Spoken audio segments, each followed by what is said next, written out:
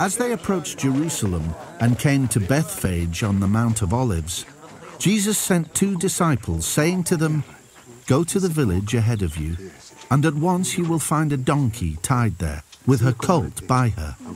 Untie them and bring them to me.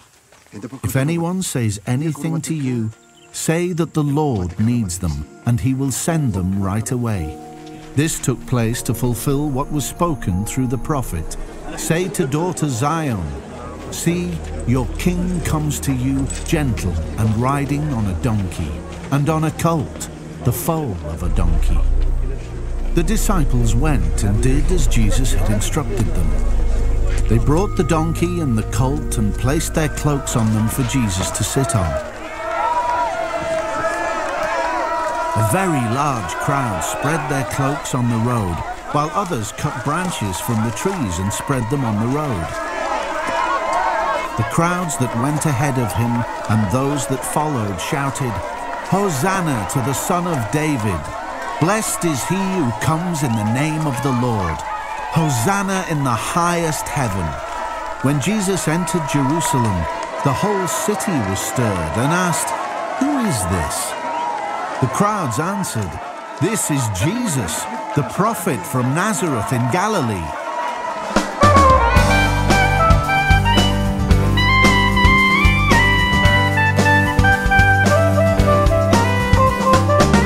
Hosanna, Hosanna,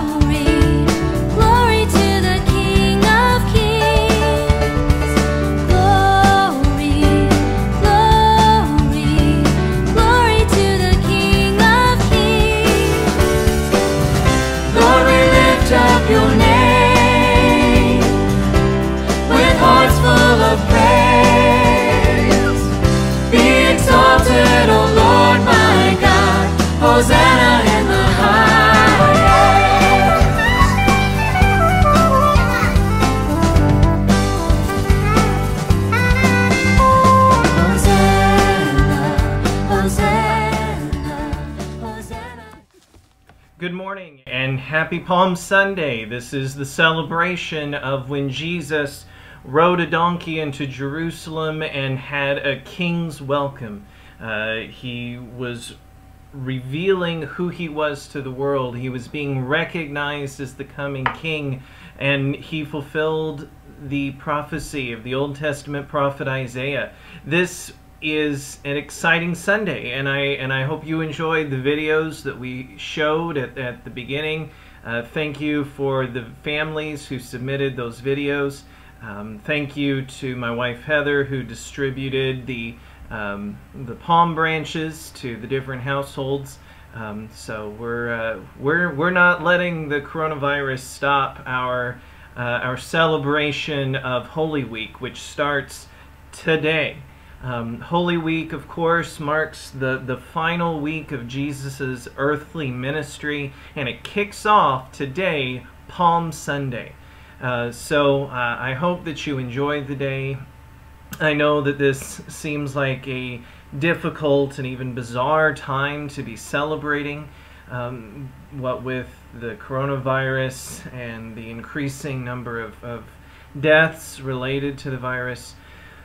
But uh, the thing about it is, the message of Holy Week and the message of Easter is that even in the darkest times, there is always hope. Uh, when Jesus was greeted by that crowd as he entered the city, they were shouting, Hosanna, Hosanna in the highest. And uh, Hosanna essentially means save us. And it was, uh, it was a recognition that Jesus is our hope. We're talking about people who faced oppression at the hands of a foreign power.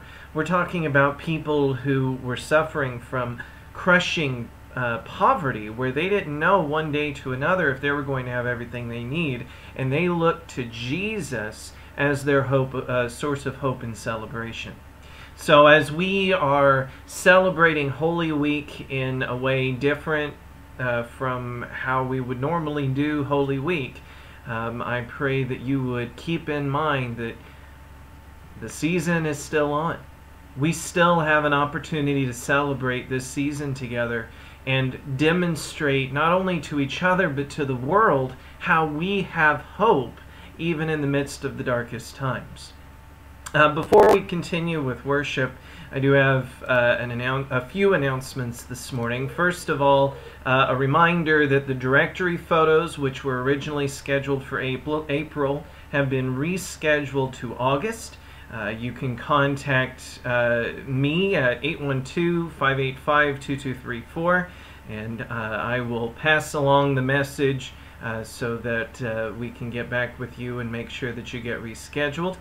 Um, I also uh, want to continue issuing my invitation to uh, all families, young, old, those with kids, those without kids, uh, who would like to create a video and send it to me um, to uh, uh, tell all of our viewers what Easter means to you, what its significance is to you. So create a video and send it to me. Uh, and just in case I didn't give you my phone number earlier, it's 812 585 2234. And you can also email it to me at andrew.baker at inumc.org. Now, if you're not really good with technology, if you don't really know how to do the video, first suggestion uh, ask one of the younger people in your family. Um, I'm also uh, a pretty uh, a good tech guy. I I'm pretty comfortable with technology, so give me a call and I might might be able to coach you through it uh, over the phone. Um, but it would be a wonderful way to celebrate Easter to have all of your videos that we can get of you sharing what Easter means to you. Now, uh, I'm also going to have, as this is Holy Week, I'll also have special videos that I'll be posting. Uh, one for Maundy Thursday, on Thursday night. Uh, Maundy Thursday is the celebration of the Last Supper, the institution of communion. Normally we would have communion on um, on uh, uh, the first Sunday of the month. Um, uh, unfortunately, since we're not meeting in person, that's not a possibility right now. Um, but uh, hopefully, the video will be sufficient, uh, at least for now, uh, to help you recall how that practice of communion started and the important gathering he had with his friends the night before he was crucified. And then, of course, Good Friday will be the celebration of Jesus offering himself up as a sacrifice, as an offering to make up for all that we had done wrong in our lives and to bring about peace between us and God the Father. And then, of course, next week we'll have a, a special Easter video for you to celebrate as a family, as a household, the special celebration of the resurrection of Jesus. I think that's all the announcements I have uh, as far as that goes. Do want to share the financial report. Um, we're in a new month. It's April. Uh, March, uh, we uh, you gave uh, over uh, about well eleven thousand six hundred ninety dollars and fifty five cents, which is wonderful considering we are now on our third Sunday of not meeting in person. Uh, so many of you came, uh, uh, uh, stepped up to the plate in the last week to give your offering either electronically or, or by postal mail. Um, a reminder that we do need uh, over 16,000 a month to meet expenses to fully fund our budget. Um, but we, we do have some in reserve, so no need to worry too much yet. Uh, I would still, though, encourage you to continue giving normally uh, through the other means we have available. You can uh, send your offering to 95 West Franklin Street in Spencer, Indiana. That's our office address. Uh, you can also give online at these links on our homepage. Um, so check that out if you would. Now, if you would please join me in this morning's call to worship taken from Psalm 118. Give thanks to the Lord, for he is good.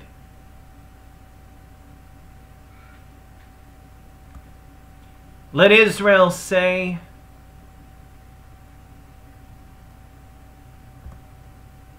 I will give you thanks, for you answered me.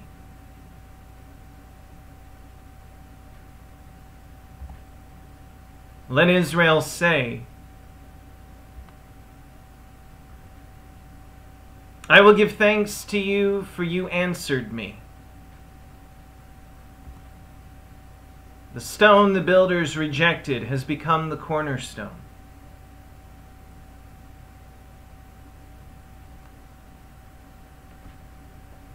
The Lord has done it this very day. Lord, save us. Blessed is he who comes in the name of the Lord.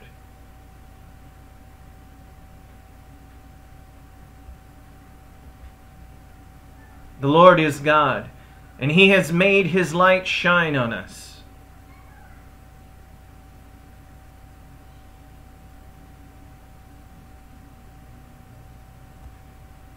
You are my God, and I will praise you.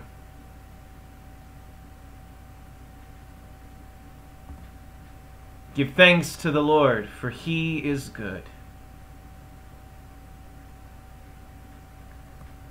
Now I'd invite you to join me in worship as we are led in worship by our praise band consisting, uh, for our purposes, of Kathy Woodruff, Penny Carpenter, and Dana Coffey.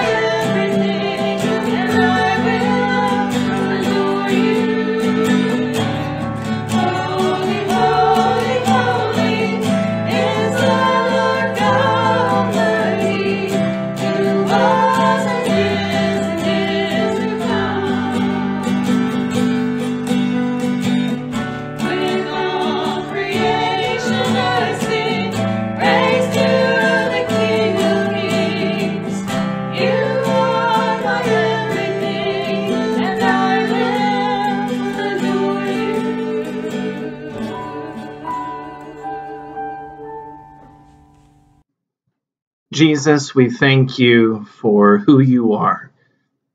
On this day, when we remember you riding a donkey into the holy city with a king's welcome, help us to remember the king that you are, the king that you were back then, the king that you are now, and help us to live in anticipation of the king you will be when you return. And Lord, we pray that during this holy week that we would experience you in a completely new way. We're all experiencing this week in a completely new way.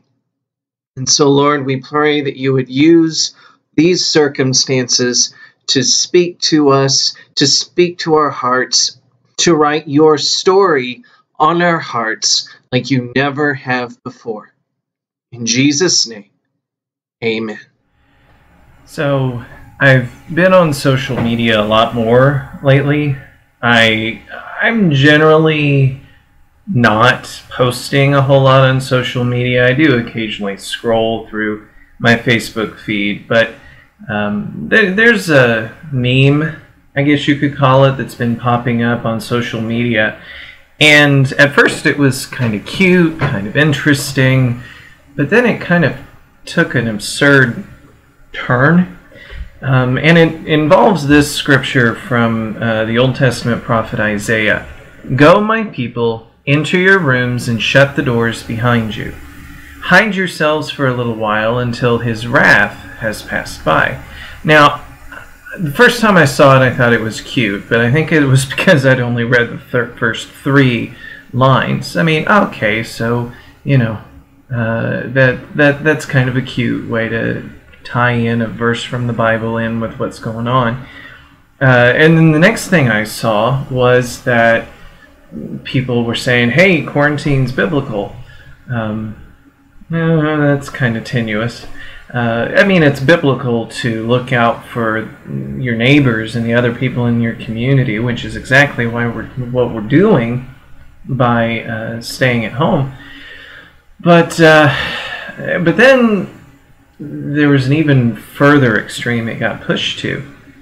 People were essentially suggesting that what we're facing right now is the fulfillment of Isaiah 26:20 and even more to even further they were pointing to the, the scripture reference isaiah 26 20 i saw a post that said ooh today is the 26th of the month in the year 2020 and look what's happening okay again cute but the the scripture reference is from the the scripture reference 2620 that was an organizational thing introduced by medieval scholars. Uh, it's uh, um, not original to the biblical text, the chapter 26, verse 20.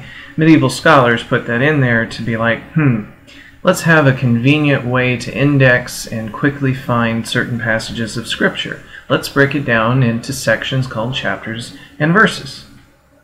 Um, so to to assign some sort of mystical numerological significance to the scripture verse is a little bit, uh, well, borderline superstitious.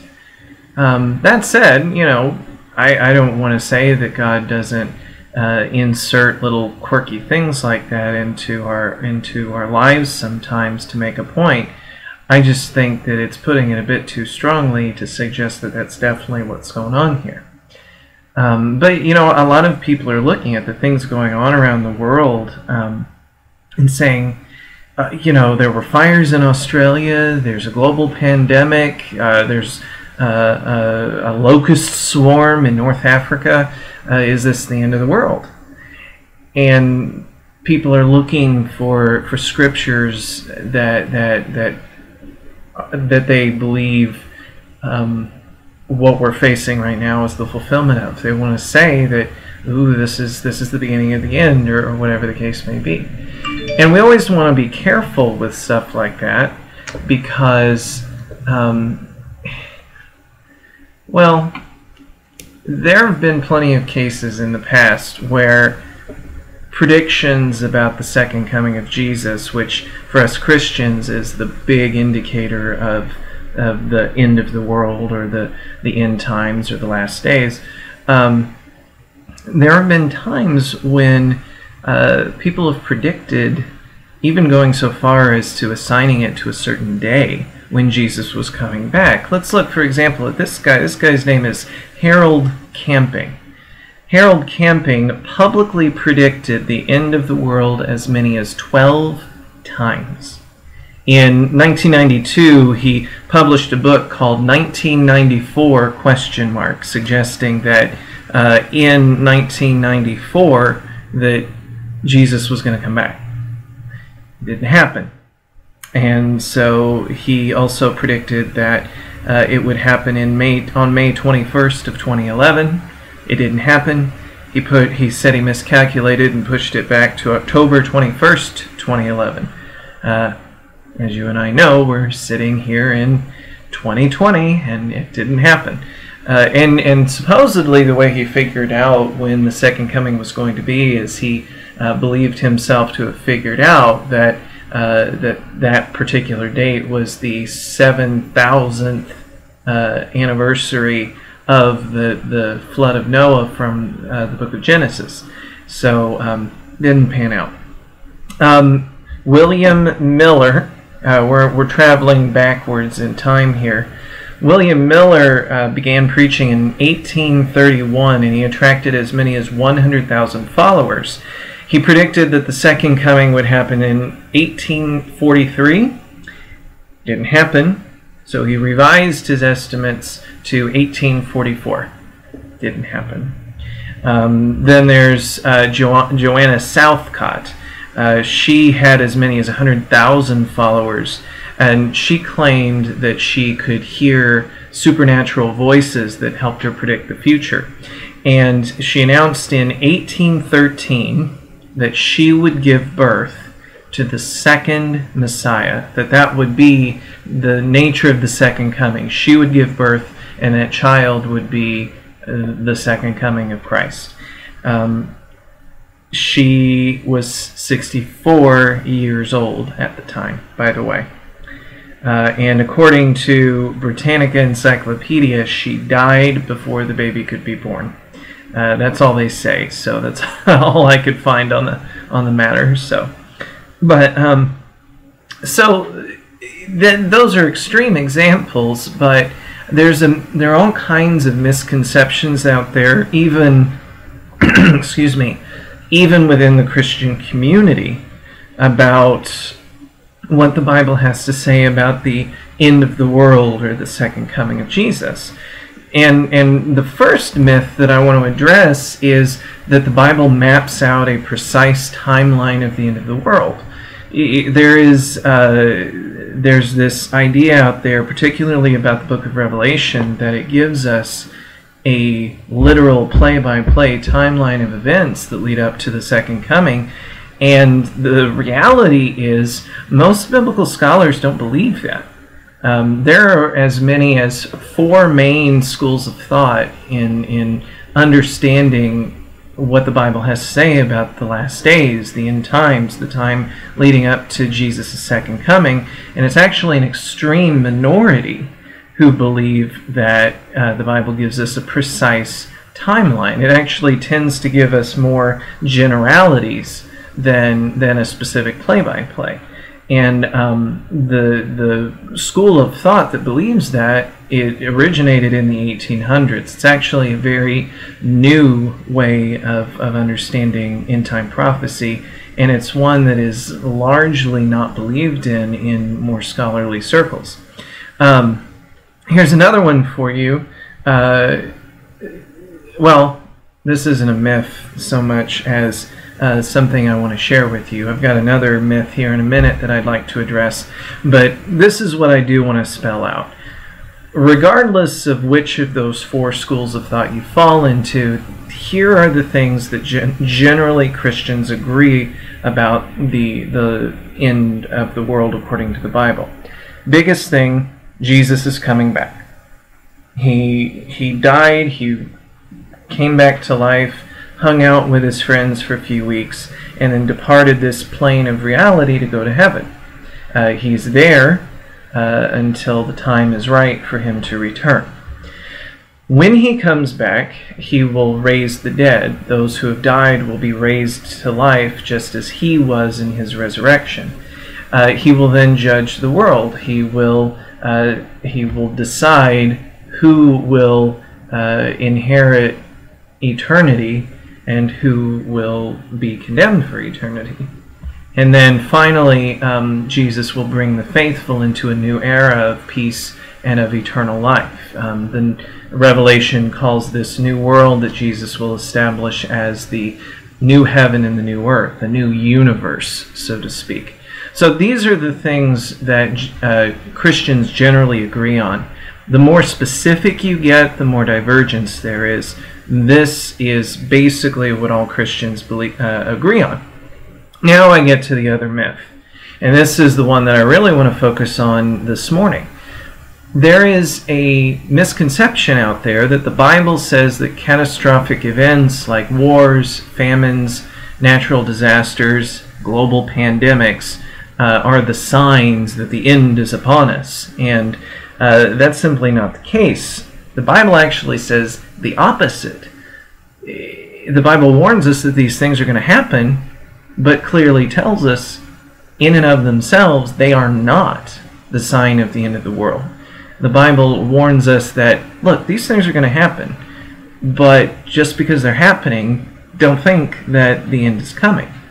And I want to take uh, a look at, uh, we've been walking through the Gospel of Matthew, and uh, I want to take a look at what is known as the, the little apocalypse. The, um, it's a passage from the Gospel of Matthew.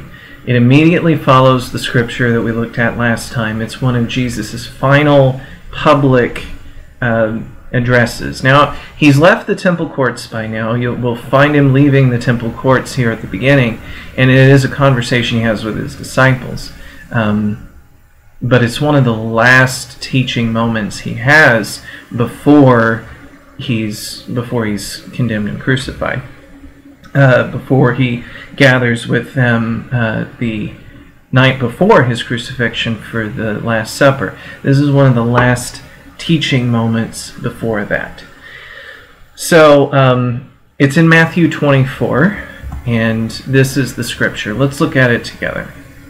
Jesus left the temple and was walking away when his disciples came up to him to call his attention to its buildings. Do you see all these things? he asked. Truly I tell you, not one stone here will be left on another. Every one will be thrown down. So Jesus makes this prediction that the temple courts will be will be leveled, will be torn down. And in response, uh, this is what happens. As Jesus was sitting on the Mount of Olives, the disciples came to him privately. Tell us, they said, when will this happen, and what will be the sign of your coming and of the end of the age?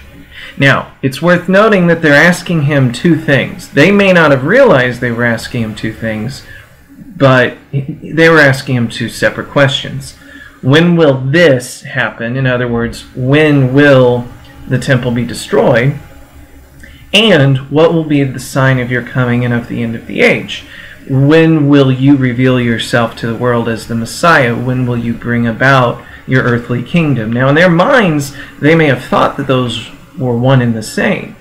But you and I, looking back on history and Jesus, who who was aware of the wholeness of, of the divine plan, um, we know that it's actually a two-part question. Those are two different issues. When will the temple be destroyed, and what will be the sign of the end?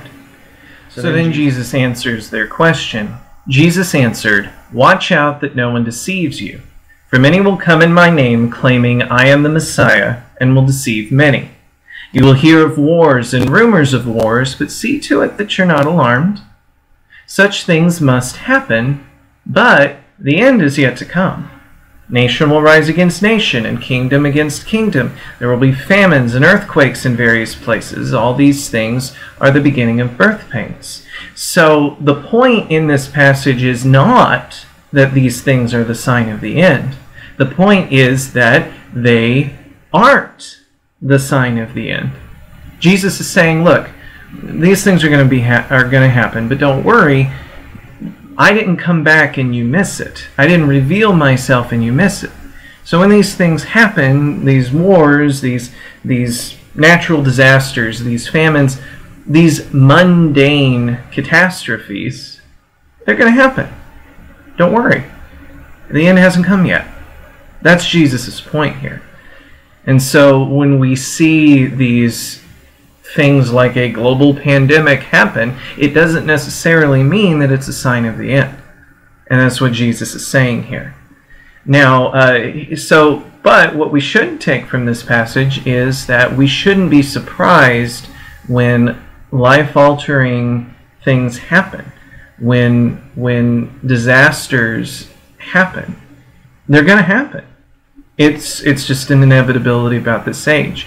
And there's another thing that should not surprise us while we're waiting for the second coming. He says, Then you will be handed over to be persecuted and put to death, and you will be hated by all nations because of me. At that time, many will turn away from the faith and will betray and hate each other. Many false prophets will appear and deceive many people. Because of the increase of wickedness, the love of most will grow cold, but the one who stands firm to the end will be saved. And this gospel of the kingdom will be preached in the whole world as a testimony to all nations, and then the end will come. Now, we Western Christians, especially we Christians in the United States, because our persecution is subtle and and not it's it's a stretch to even call it persecution, um, considering what other Christians around the world and throughout history have faced. We're actually pretty cushy here in the United States. Um, so for us, often this description seems like some dystopian future, but it's been a reality for Christians in certain parts of the world in certain seasons in history, all of it. Uh, even Christians betraying each other, Christians' love growing cold. Matter of fact, I see that happening here in the United States. Um, so, this is sort of a summary statement of what the experience of the church will be during the time between Jesus Jesus's first and second coming. And uh, then he answers the other question. So far, he's been talking mainly about the question of the end. Now he's going to switch to that other question what, when will the destruction of the temple take place? And he says, So when you see standing in the holy place the abomination that causes desolation, spoken of through the prophet Daniel, let the reader understand, then let those who are in Judea flee to the mountains. Okay, the let the reader understand, just a side note, that's probably an insertion that uh, Matthew makes. Uh, Jesus didn't likely say, let the reader understand. But anyway, um, and Jesus is, uh, when Jesus refers to the abomination that causes desolation, he's referring to a prophecy from the prophet Daniel, uh, who uh, predicted um, that a political leader would um, desecrate the temple, that he would religiously, spiritually defile the place of worship of the Jews. And most scholars, including myself, believe that that prophecy was fulfilled when a Greek leader by the name of Antiochus Epiphanes sacrificed a pig on the altar of the temple in Jerusalem. I could tell you more about that, but that's just the, the gist of it. And so what Jesus here is saying, and he, Jesus is speaking generations after that happened, he's saying that something similar has yet to happen. And it's gonna happen in AD 70 when the Romans completely sack the city of Jerusalem and dedicate the temple and, and tear it down, destroy the temple. That happens in AD 70, 40 years after Jesus makes this statement. Uh, and so Jesus is answering their question okay, when is this going to happen? When is the temple going to be destroyed? And Jesus is, is talking about that right now. And he tells them, Let no one on the housetop go down to take anything out of the house. Let no one in the field go back to get their cloak. How dreadful it will be in those days for pregnant women and nursing mothers. So he's talking about how difficult it will be for the Jewish people uh, during that season. And, and, and, indeed it was. They endured violent persecution. Um, the last holdouts uh, took their stand at a place called Masada and ended up um, committing mass suicide to keep themselves from being captured. So it, it got ugly. Um, pray that your flight will not take place in winter on the Sabbath. And then Jesus transitions to talking about not just what happens right around the destruction of the temple in AD 70, but it goes back to talking about the whole period of time between his first and second coming. For then there will be great distress, unequaled from the beginning of the world until now, and never to be equaled again. And that's a summary statement of the whole season. He's, he's talking about how much strife there will be in the world during what we now know is a 2,000 year period of waiting for Jesus to come back.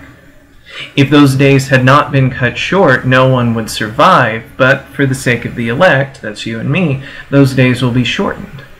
So um, it sure seems like it's been a long time to us, but um, God's going to bring the, this season to an end at just the right time. And now we get into talking about the end times. Up until now, we've been talking about this whole season that for us has been the last 2,000 years. But now he's going to talk about what happens before Jesus returns in answer to that other question. Um, at that time, if anyone says to you, Look, here's the Messiah, there he is, do not believe it. For false messiahs and false prophets will appear and perform great signs and wonders to deceive, if possible, even the elect. See, I have told you ahead of time. So if anyone tells you, There he is, out in the wilderness, do not go out. Or here he is, in the inner rooms, do not believe it. For as lightning that comes from the west, uh, sorry, from the east is visible even in the west, so will be the coming of the Son of Man. Wherever there is a carcass, there the vultures will gather. So the, the point of all that is the second coming is not something we're going to miss. It's going to be obvious. Um, and, and, and so don't worry so much about natural disasters and global pandemics. Those aren't the signs of his coming. Um, it'll be obvious. It'll be obvious when Jesus comes.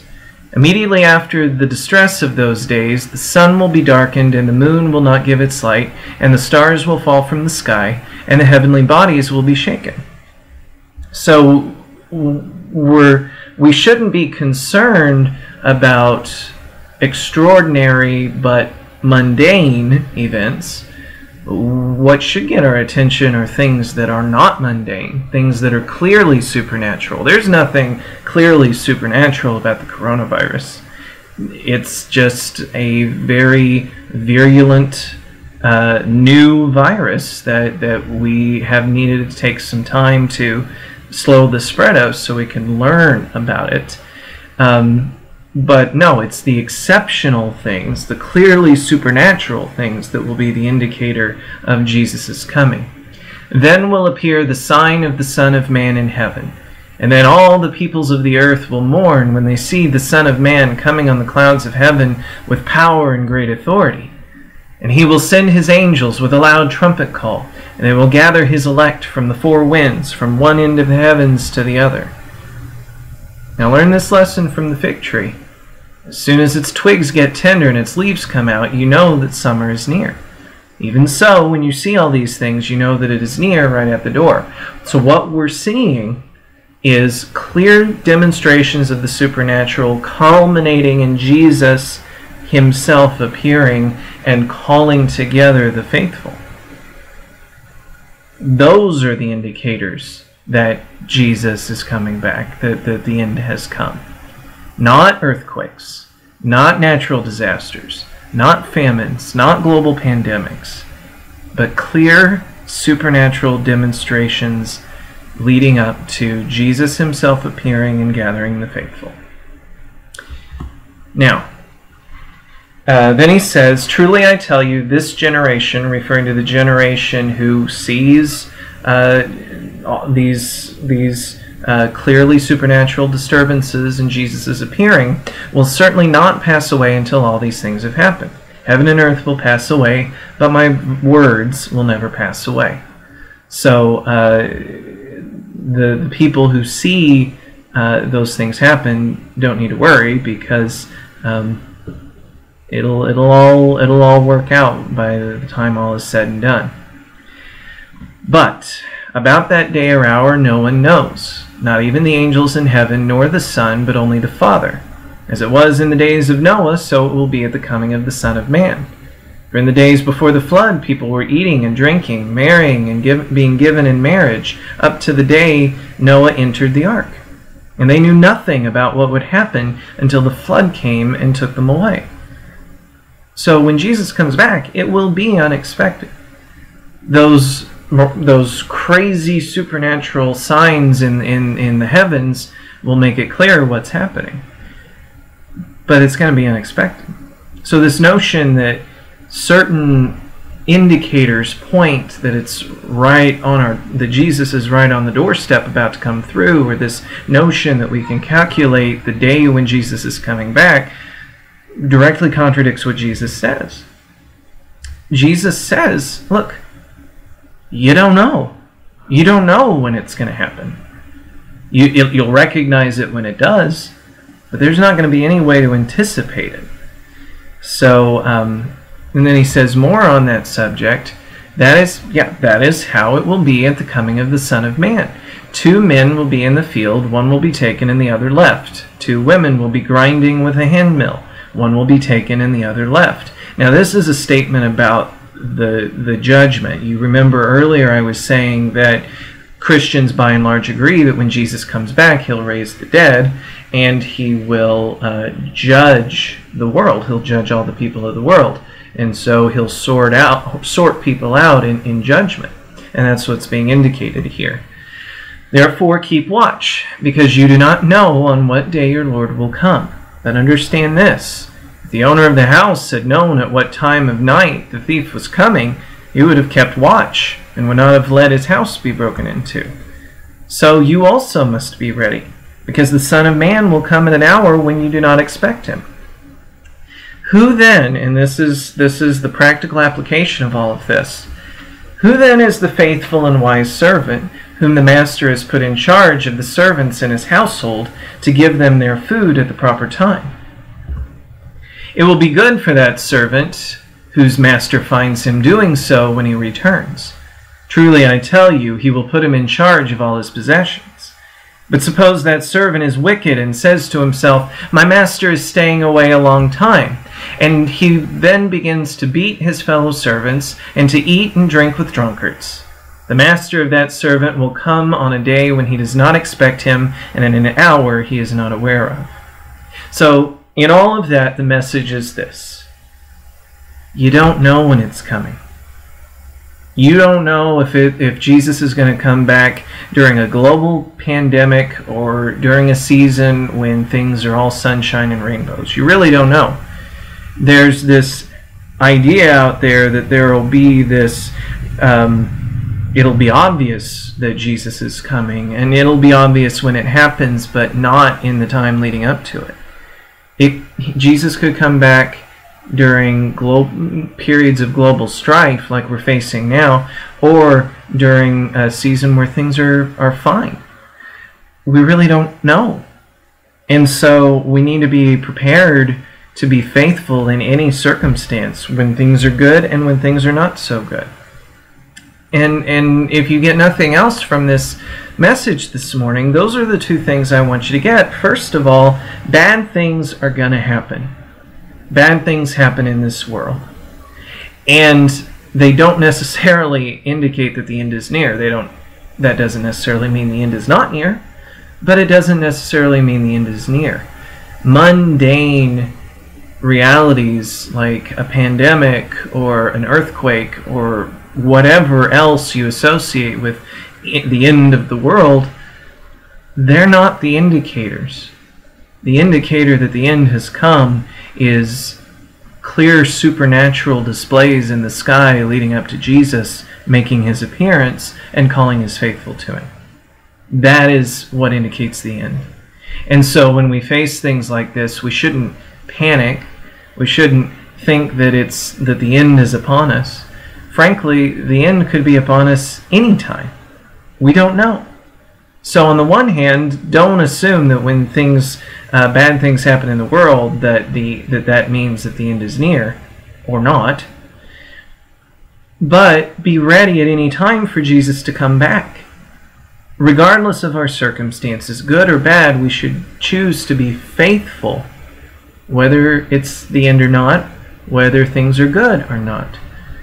We want to be that faithful servant who is going about our master's business when he gets back from his uh, trip. So that's my message for you today. Let it be well with your soul. Let you remain faithful and obedient to God both in good times and in bad, whether or not Jesus comes back tomorrow. And he could. Jesus very well could come back before I'm finished with this message. But that's why we need to be ready at all times, in good times and in bad. We shouldn't be looking for signs of his coming because guess what? By the time we're seeing clear signs of his coming, it's at the door. So be ready at any time to face Jesus. Be going about every moment of your day doing what Jesus would be pleased to see you doing. Let's pray. Jesus, we thank you that we have the hope that you will one day come to see us, that you will one day come to make your home with us in a real way. You will turn our world upside down in the best sense. And Lord, that day could come at any time. You make it clear that there are all sorts of catastrophes that might happen along the way, that we'll endure hardship and persecution. But those things alone are not the indicator of the end. The indicator of the end is your physical return to the scene. You'll return. You'll raise the dead to life. You will gather your faithful to you, and you will separate those who will face eternal life and those who will face eternal death, and you will usher in an eternity of peace, safety, security, and plenty. Let that give us hope, but let that also caution us not to get up, get caught up looking for signs of the end, but to be prepared every day of our lives to meet you. In Jesus' name, amen. My hope is that uh, you will find peace for your soul. And to that end, I'd like to close with this hymn, uh, a classic, It Is Well With My Soul.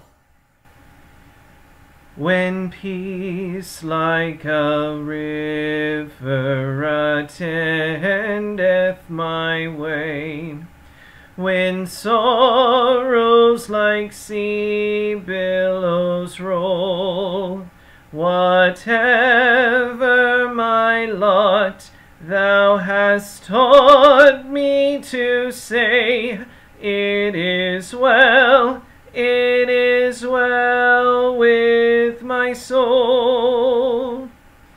It is well with my soul. It is well, it is well with my soul.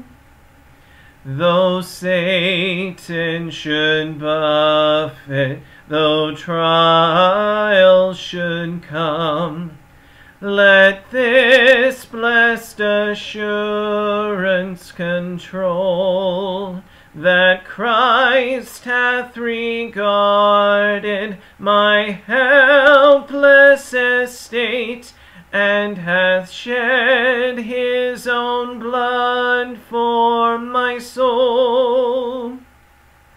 It is well my soul. It is well, it is well with my soul. My sin, oh, the bliss of this glorious thought. My sin, not in part, but the whole is nailed to the cross, and I bear it no more. Praise the Lord,